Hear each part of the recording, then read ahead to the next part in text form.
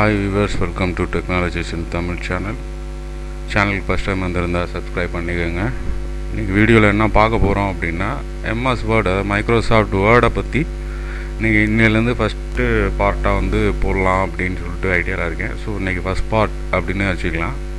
பேசிக் தெரிஞ்சுக்கிறோம். இது வந்து ஒரு ஒரு பேசிக் கிளாஸ் தான் இது. ஸோ வந்து எனக்கு ஏற்கனவே தெரியும் அப்படின்றவங்களுக்கு இந்த இது ஒத்து வராது நீங்கள் ஸ்கிப் பண்ணாலும் சரி இல்லை க்ளோஸ் பண்ணிட்டு போனாலும் சரி. எனக்கு தெரியாது தெரிஞ்சுக்கணும்னு விருப்பப்படுறவங்களுக்கு இந்த இது யூஸ்ஃபுல்லாக இருக்கும். ஸோ முதல்ல வேர்டு அப்படின்னா என்னன்னு பார்த்துக்குறோம். வேர்டு முதல்ல நீங்கள் உங்கள் சிஸ்டத்தில் இன்ஸ்டால் பண்ணியிருக்கீங்களான்னு பார்த்துக்கோங்க. இப்போ இது வந்து நான் வந்து இதில் இன்ஸ்டால் பண்ணியிருக்கிறது வந்து டூ தௌசண்ட் செவன் வெர்ஷன் இதில் வந்து பார்த்தீங்கன்னா access excel outlook power point word so இந்த மாதிரி இது தான் இருக்கும். ஸோ இப்போ வந்து நம்ம உங்களுக்கு பேசிக்காக நான் எப்படி ஓப்பன் பண்ணியிருக்கேங்க முதல்ல வின் வேர்டை நம்ம அதுக்கு போயிடும் ரொம்ப டீப்பாலாம் போனோம்னா கன்ஃபியூஸ் ஆகிடும் ஸோ வேர்டை வந்து ஓப்பன் பண்ணிடுவோம் ஸோ இதுதான் வேர்டு வேர்டோட ஃப்ரண்ட் பேஜ் தான். நீங்கள் வேர்டை ஓப்பன் பண்ணிங்கன்னா இதாக வரும். டூ தௌசண்ட் செவனில் இதுக்கு அட்வான்ஸ் வெர்ஷனில் பார்த்தீங்கன்னா உங்களுக்கு நியூ அப்படின்னு சொல்லிட்டு ஒரு இது வந்து நிற்கும் அவ்வளோதான் வரும் பெரிய வித்தியாசம்லாம் இருக்காது. பேசிக் இதுன்னு வச்சுக்கோங்களேன்.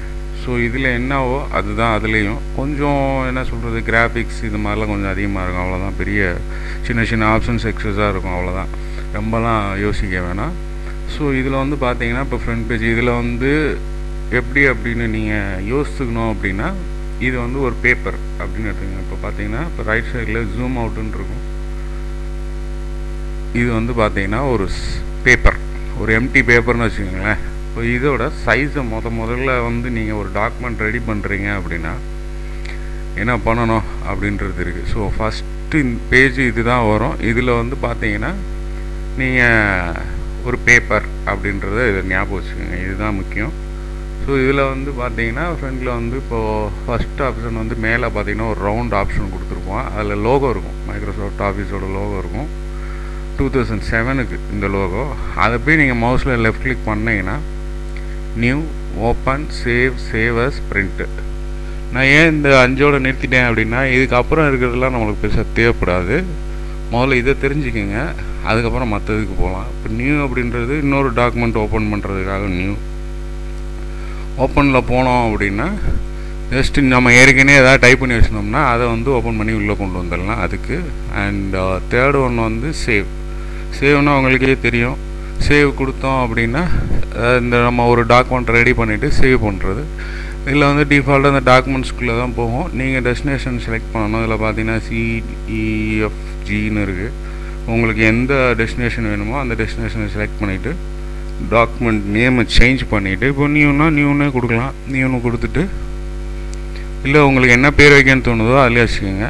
இப்போ டூ தௌசண்ட் செவன் அப்படின்னா மேக்ஸிமம் இந்த word nine ninety seven two two thousand three document இருக்கும். அதில் போயிட்டு நீங்கள் சேவ் கொடுத்து நீங்கள் சேவ் கொடுக்கலாம். இப்போ இதை நான் டெஸ்க்டாப்லேயே சேவ் பண்ணிடலான்னு நினைக்கிறேன். ஸோ டெஸ்க்டாப்பில் நியூனே வச்சுக்கிறேன்.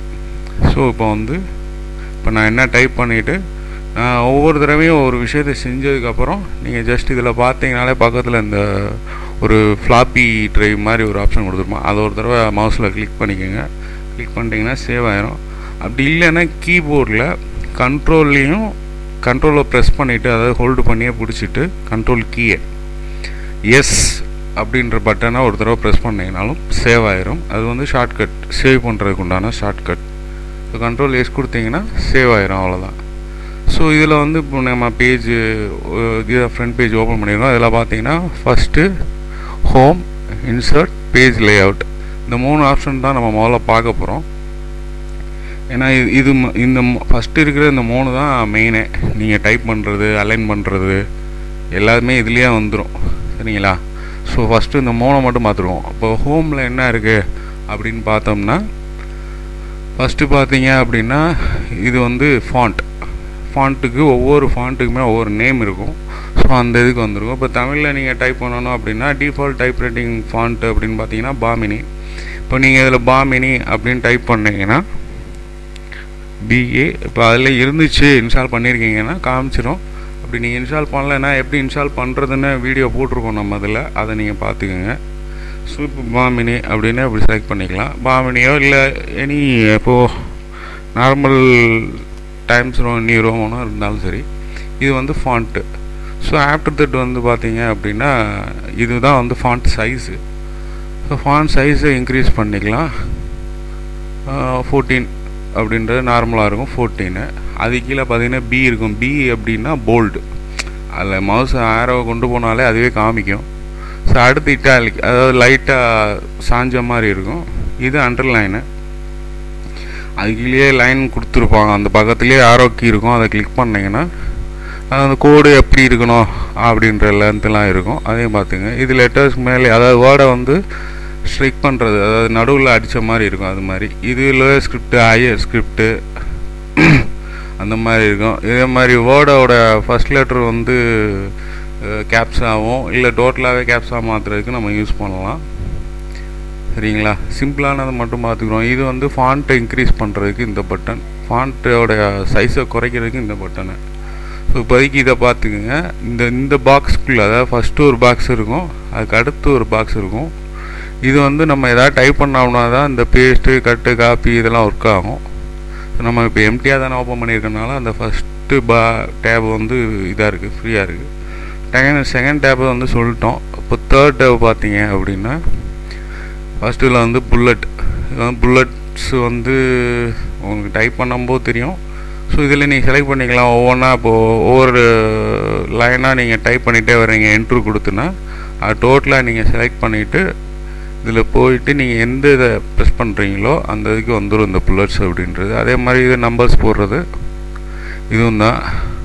ஸோ அதுக்கப்புறம் அது கீழே பார்த்தீங்க அப்படின்னா அலைன் லெஃப்ட்டு அதாவது எங்கேருந்து டைப் பண்ண போகிறோம் அப்படின்றத தெரிஞ்சுக்கிறதுக்கு இந்த இது லெஃப்ட்டு அப்படின்னு அலைன் லெஃப்ட்டுன்னு அதிலே வரும். சென்ட்ரு பண்ணுறதுக்கு இது அதை கிளிக் பண்ணோம்னா இப்போ க்ரஷர் பார்த்தீங்கன்னா சென்டருக்கு வந்துடும் அதே மாதிரி அடுத்து வந்து ரைட்டுக்கு வந்துடும் ஆஃப்டர் தட் ஜஸ்டிஃபைன்னு ஒரு ஆப்ஷன் கொடுத்துருப்பாங்க. ஜஸ்டிஃபை அப்படின்னா என்னன்னு பார்த்தீங்கன்னா இப்போ ஒரு லைனை முடிச்சு நம்ம கண்டினியூஸாக டைப் பண்ணிகிட்டே இருப்போம். ஆனால் வந்து ரைட் சைடில் வந்து ஒரு லைன் நிறையா இருக்கும் ஒரு லைன் கம்மியாக இருக்கும் வேர்ட்ஸை பொறுத்து. அதெல்லாம் ஒரே ஷேஃபாக வர்றதுக்காக இந்த ஜஸ்டிஃபை அப்படின்ற பட்டனை நீங்கள் யூஸ் பண்ணணும். சரிங்களா? இது ஒரு ஆப்ஷன் ஸோ இதை வச்சு இப்போ நான் சொல்லி கொடுத்ததை வச்சு இந்த இதுக்குள்ளே தான் மேக்ஸிமம் உங்களுக்கு ஒர்க் அவுட் பண்ணுற மாதிரி வரும். அண்ட் இதுலேயே பார்த்தீங்கன்னா அடுத்து வந்து லைன் ஸ்பேஸ் இருக்கும். லைன் ஸ்பேஸ்னால் ஒன்றும் இல்லை. இப்போ ஒரு லைன் டைப் பண்ணிட்டோம். அடுத்த லைன் கீழே போகுது அப்படின்னா அதோட சைஸை நம்ம இன்க்ரீஸ் பண்ணிக்கிறது டிஸ்க்ரீஸ் பண்ணிக்கிறது இதெல்லாம் எளிய பண்ணலாம். அதை அடுத்தடுத்து நம்ம வரும்போது பார்த்துக்குறோம். முதல்ல இதோட பயன்பாடுகள் என்னன்னு நம்ம தெரிஞ்சுக்கிட்டா தான் நம்ம அதுக்கு அடுத்த ஆப்ஷனுக்கே நம்ம போக முடியும். அதுக்கடுத்து பார்த்தீங்க அப்படின்னா இதெல்லாம் இன்டென்ட் இதெல்லாம் இப்போதைக்கு உங்களுக்கு சொன்னால் குழப்பிடும் ஸோ இப்போதைக்கு பேசிக்காக தெரிய வேண்டிய விஷயங்கள் மட்டும் தெரிஞ்சுக்கோங்க.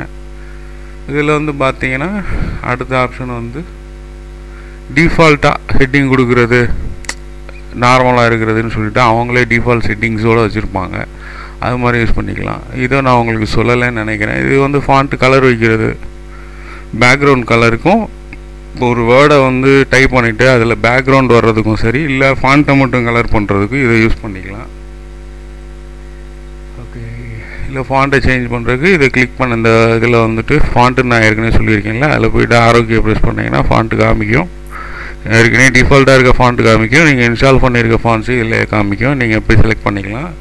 உங்களுக்கு தேட்டறதுக்கு சிரமமாக இருக்குன்னா இதில் அந்த ஃபாண்ட் நேம் டைப் பண்ணிங்கனாலே வந்துடும் அவ்வளோதான் இது வந்து ஹோமில் வந்து நீங்கள் தெரிஞ்சுக்க வேண்டியது.